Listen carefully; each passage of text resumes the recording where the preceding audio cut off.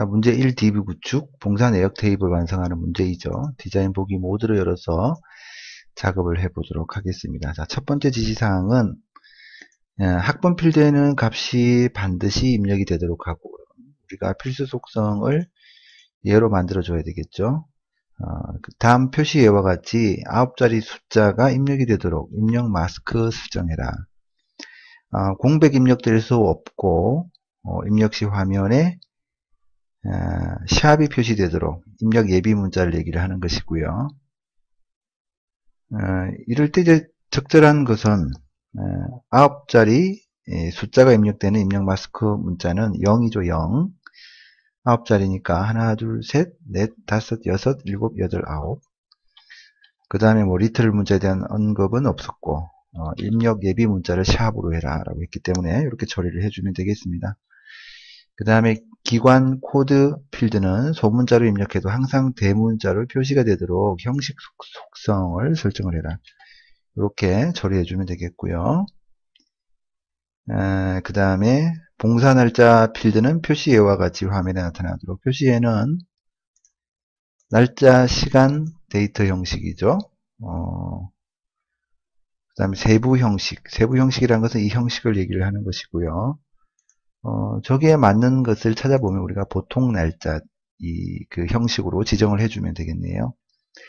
그 다음에 이 시수 필드에는 기본 값을 1로 하고 아, 그 다음에 반드시 0보다 큰 값이 입력이 되도록 유효성 검사 규칙 크다 0 이렇게 지정해 주면 되겠죠.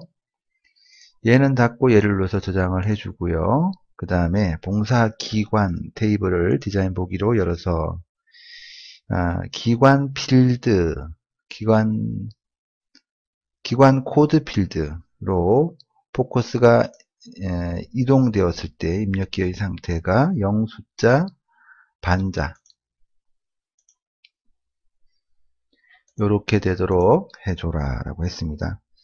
그 다음에 학생명단.xlsx 파일의 내용을 가져와서 신입생 테이블에 추가를 해라. 외부 데이터 엑셀 아, 이 찾아보기를 눌러서 해당 경로에 있는 학생 명단 파일을 선택을 하고 그 다음에 신입생 테이블에 복사본을 추가를 해주면 되겠습니다. 이 데이터를 얘기를 하는 거죠. 어, 여기도 선택이 되어 있고요. 첫 번째 행은 필드 이름이다.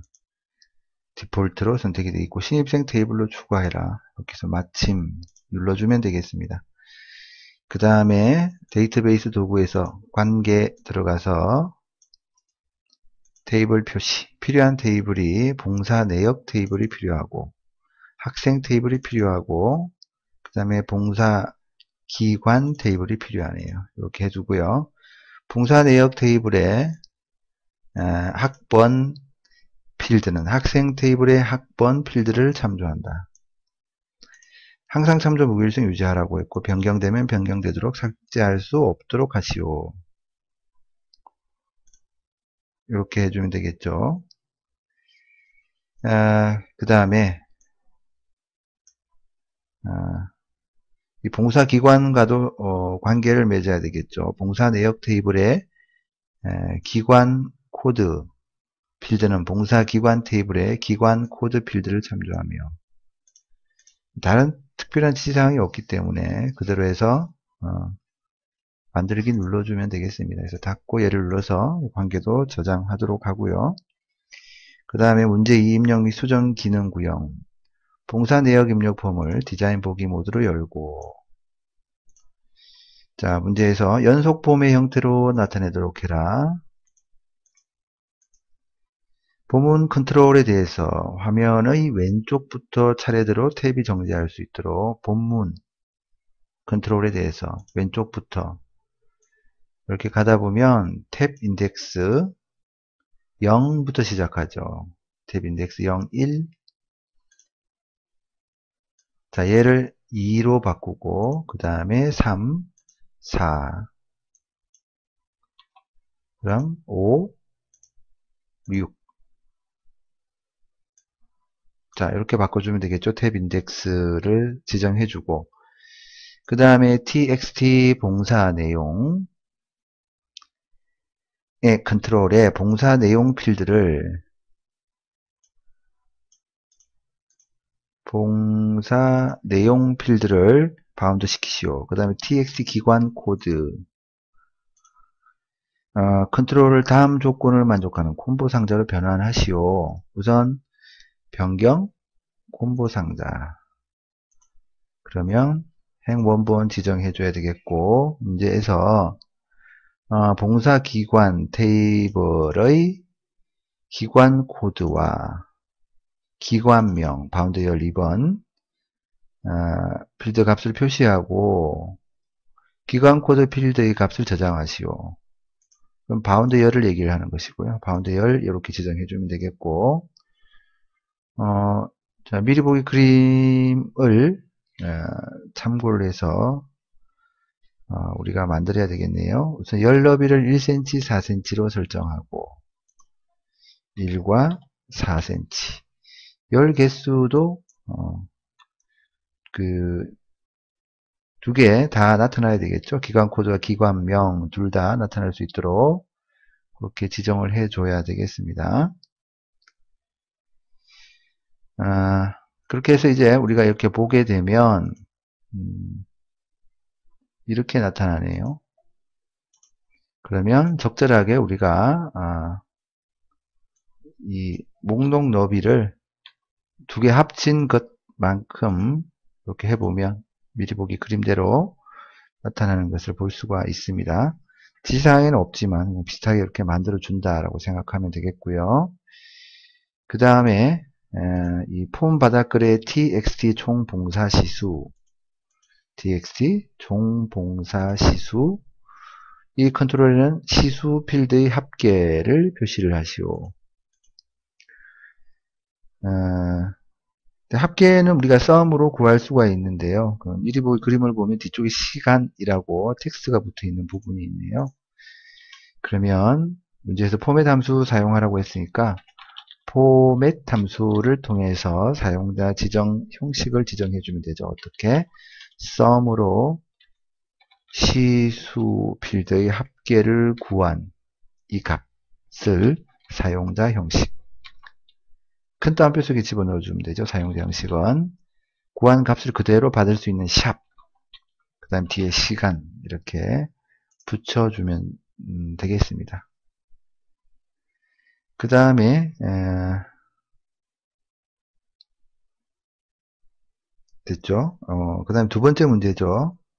봉사 내역 입력 폼, 이 폼이죠. 폼에서 새로운 레코드를 입력할 때 txt 기관명 컨트롤로 얘인가? 네. 이 컨트롤로 포커스가 이동하면 got focus 어, 얘죠. 이동되면 해당되는 봉사 기관명이 자동으로 입력되는 이벤트 프로시저. 이때 txt 기관 코드 우리가 기관 코드와 기관명 필드의 값을 아, 행 원본으로 가지고 있는 이 콤보 상자 앞에서 바로 만들었던 이 콤보 상자에서 선택한 기관 코드와 일치하는 봉사 기관 테이블에 기관명이 입력되도록 하시오. 결국 이 콤보 상자의 바운드 열 2번에 있는 값을 가져오도록 하시오. 이런 얘기죠. 자, 어쨌거나 이벤트는 어, tx 기관명이 온갖 포커스 할 때 이벤트 프로시저를 만들어주면 되겠고요. 아, 그, 비주얼 베이직에서 우리가 는 등호값을 설정할 때 이것이 같다는 의미가 아니고 어, 그 뭐 정확한 표현은 아니지만 같다는 의미는 아니고요. 오른쪽 등호의 오른쪽에 있는 값이 왼쪽에 삽입된다, 들어간다 이렇게 이해를 하면 되겠습니다. 그러면 txt 기관 코드 콤보 상자의 어, 여기에서 이제 기관명 필드의 값 지금 그 txt 기관 코드는 콤보 상자죠. 우리가 변환했잖아요. 거기서 거기에서 첫 번째 열과 두 번째 열 이 있습니다. 바운드 열 1번과 2번. 바운드 열 1번은 기관 코드고 바운드 열 2번은 기관명이죠. 그래서 두 번째 열에 있는 값을 txt 기관명에 넣어주면 되겠죠. 그래서 txt 기관명 텍스트에 들어갈 값, 삽입될 값은 txt 기관 코드의 속성을 이용, 합니다 이때 열은 Column 속성이죠. Column 속성. 음, 열이라기보다는 아, 콤보 상자의 어떤 레코드 값을 가져오는 것인데요. 아, 이 Column에는 인덱스와 row가 있습니다. 인덱스는 열이고요. 그 다음 row는 행이 되죠.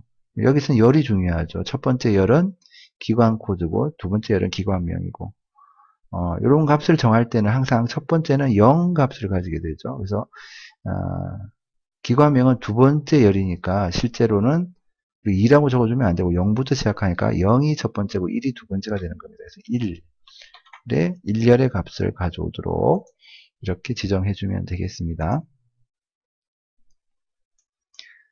자, 자꾸 예를 들어서 저장을 하도록 하고요. 그 다음에 어, 시수 검색 폼 어, 폼의 본문 영역에 봉사 내역 입력 폼을 하위 폼으로 여기 얘기를 하는 거죠. 이 부분. 그래서 어, 컨트롤 마법사가 적용된 상태에서 이렇게 적절한 영역에 집어넣고요.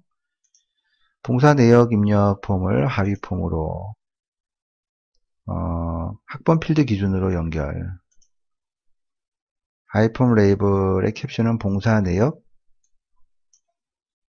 목록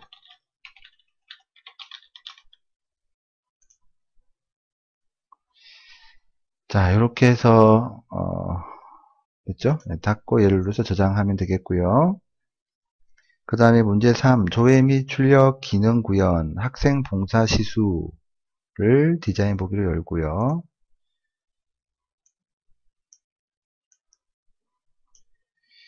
자, 보고서 머리글 영역에 다음과 같은 레이블 컨트롤을 어, 작성을 해라. 자, 그러면 우리 이 레이블을 여기 이렇게 적절하게 만들어주면 되겠습니다. 문제에서 이게 학생 봉사 시수라고 했고요. 자, 이 레이블 컨트롤의 이름은 L 언더바 제목 제목 컨트롤이고 캡션은 학생 띄우고 봉사 시수 글꼴 이름은 휴먼 엑스포 이렇게 지정해 주고요. 글꼴 크기는 20 이렇게 지정해 주면 되겠습니다. 그 다음에 아, 보고서 머리글에 txt 이름 컨트롤에는 이름과 학번이 표시가 되도록 미리 보기 그림에 있는 것처럼 괄호 속에 학번이 들어가 있네요. 그러면 아, 컨트롤 원본을 지정해 주면 되겠죠. 우선 필드는 대괄호 속에 집어넣고요. 이름 필드를 가져오고 그 다음에 괄호와 연결만 해주면 되겠죠. 여는 괄호 and 그 다음에 필드 학번 필드 and 닫는 괄호를 연결 해주면 되겠습니다. 이렇게 처리하면 되겠고요. 아, 그 다음에 현재 기관명 필드를 기준으로 어, 그룹화가 되어 있죠. 네. 봉사 날짜 필드 값이 오름차순으로 정렬되도록 정렬 추가 봉사 날짜 예죠.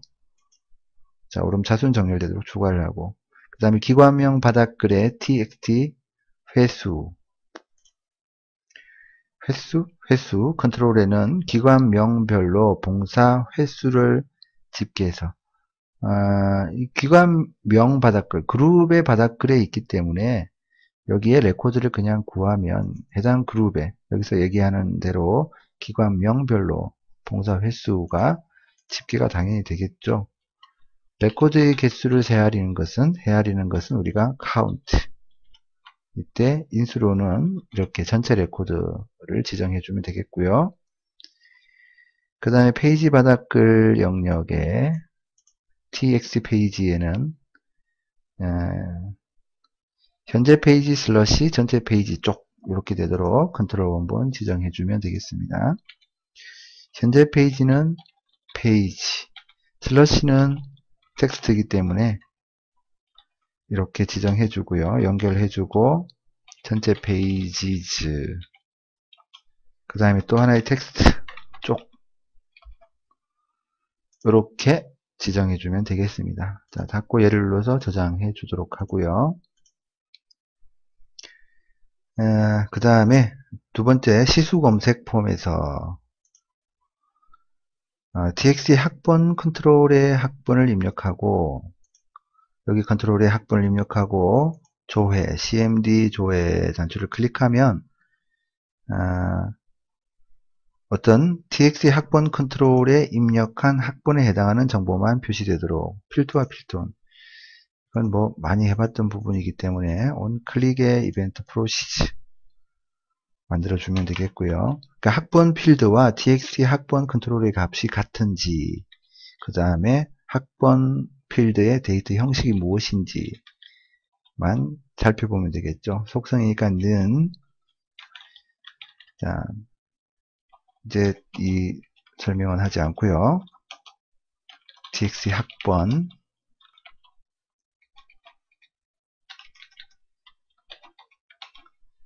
이렇게 처리해 주면 되겠죠. 자, 필터를 했으니까 필터 온도 해줘야 되겠죠. 해당 필터가 적용이 될 수 있도록 true까지 해줘야 되겠네요.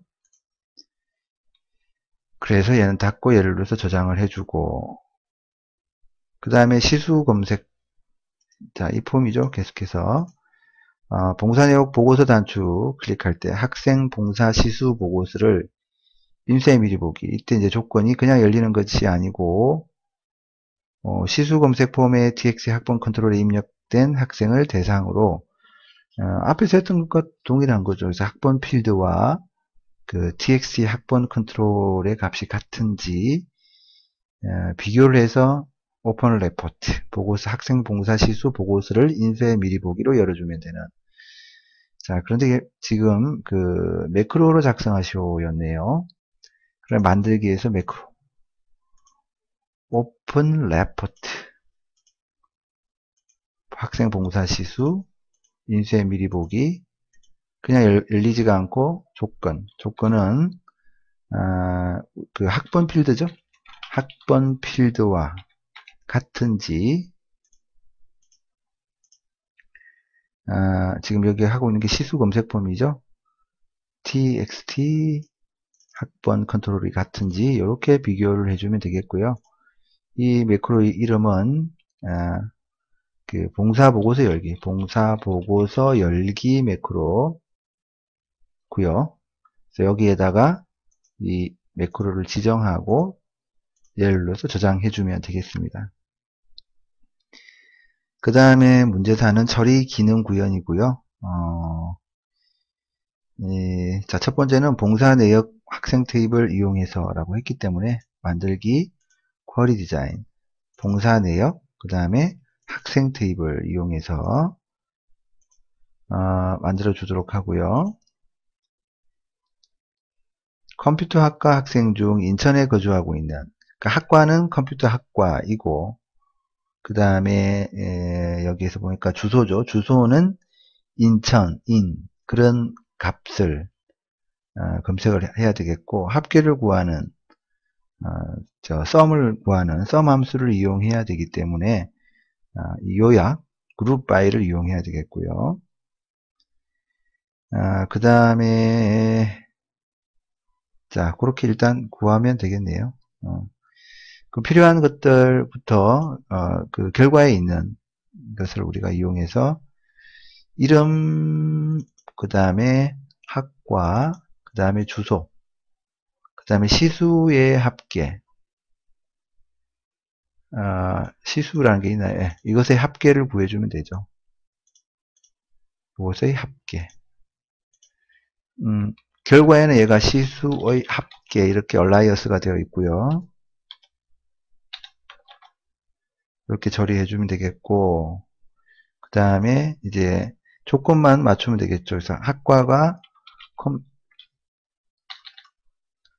컴퓨터 학, 학과인 경우 조건이 그 다음에 주소가 어, 주소가 인천인 경우, 근데 주소 필드를 보니까 결과 그림을 보아도 그렇고, 실제로 열어봐도 그렇고, 이렇게 그 앞에 이제 광역 지자체명만 있는 것이 아니고, 구와 동까지 다 표시가 되어 있기 때문에, 인천으로 시작하는 경우죠. 이런 경우에는 항상 라이크 연산자. 인천으로 시작하는, 인천,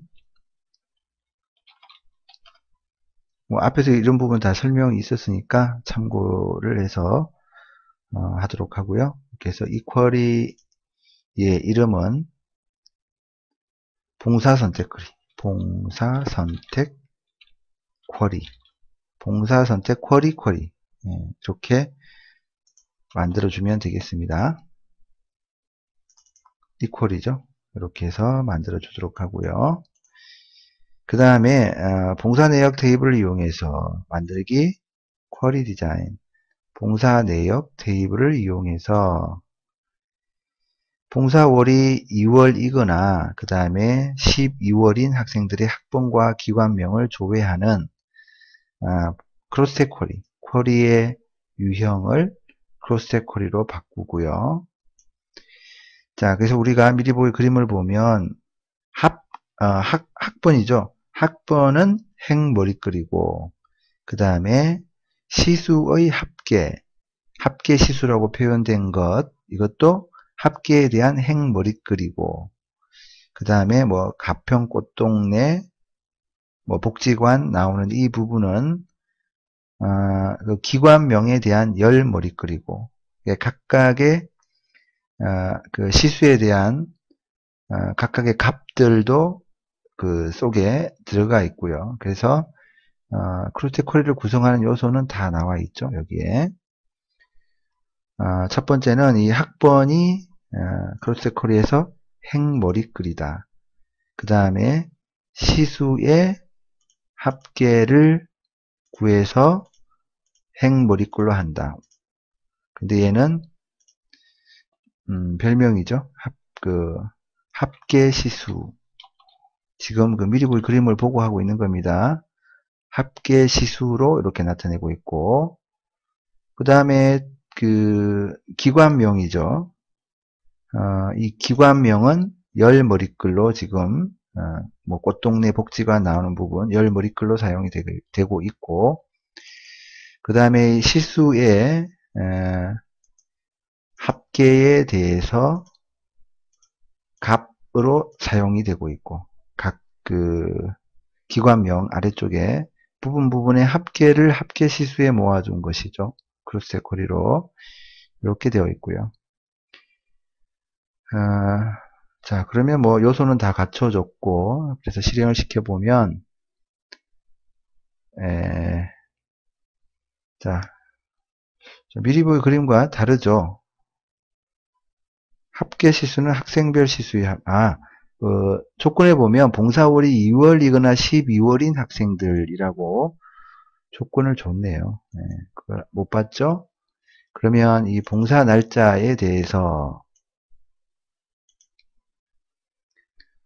달을 뽑아내야죠. 2월이나 12월이라고 했으니까 month 봉사 날짜 필드에서 어, 뽑아낼 겁니다. 무엇을 어, 자, 2월이나 12월이니까 2, 5월, 12 이렇게 하면 2월이나 12월 이제 이것은 이, 이 조건으로 묶는 방법을 지정해 줘야 됩니다. 웨얼절로 이렇게 처리를 해야 되겠죠. 자 이렇게 해서 이제 실행을 시켜보면 어, 자 이제 미리 보기 그림과 동일하게 나타나는 것을 우리가 확인, 확인을 할 수 있고요.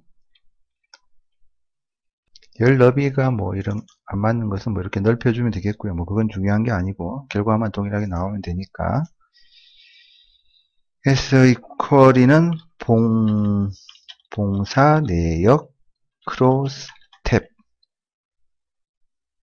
cross tab cross tab query 이렇게 만들어주면 되겠습니다. 그 다음에 봉사 내역 입력 폼에 봉사 내역 어, 입력 폼에 txt 학번 컨트롤을 연가요?